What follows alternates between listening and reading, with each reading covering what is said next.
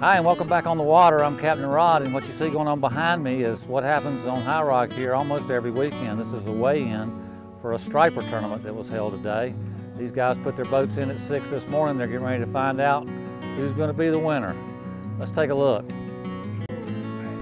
Most of the fish we'll see weighed in today will be either eaten for dinner tonight or frozen for meals later this winter. But two guys fishing today feel it's important to try and keep these fish alive and they're able to do that with the tall cylinder you see in the front of their boat. It's called a striper tube, and the fish is actually placed vertically on his nose in order to make this system work. It might seem strange that we put these fish in head first in the striper tube, but it goes back to the tuna tubes. You put them in head first, it messes up their equilibrium and it actually calms the fish down. If you put it in the stripe in the bait tank to keep it alive or in a live well, the fish will turn upside down and they'll actually suffocate. The fish have got to be moving, so when they're on their nose with 1,100 gallons per minute of water going through their gills, it actually simulates that fish swimming.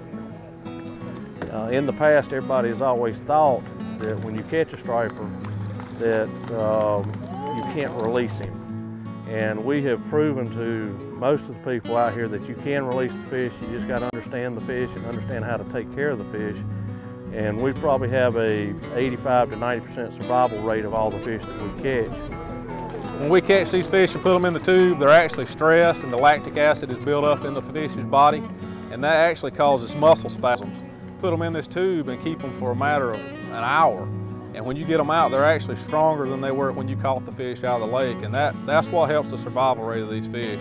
And instead of just releasing them straight back into the water, sometimes we'll actually hold the fish a little while, even if we're going to cull it, and we let it go and the fish does great. If more people would do this, the uh, wildlife wouldn't have to stock near as many fish. Now, if you want to take fish home and eat them, that's understandable.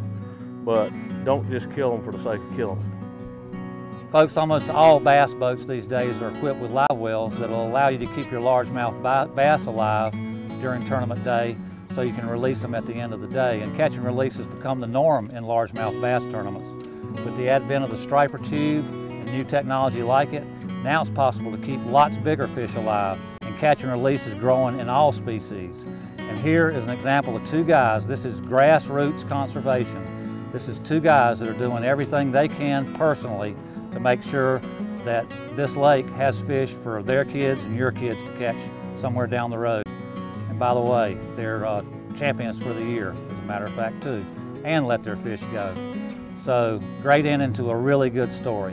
I'm Captain Rod. I'll see you right here on the water.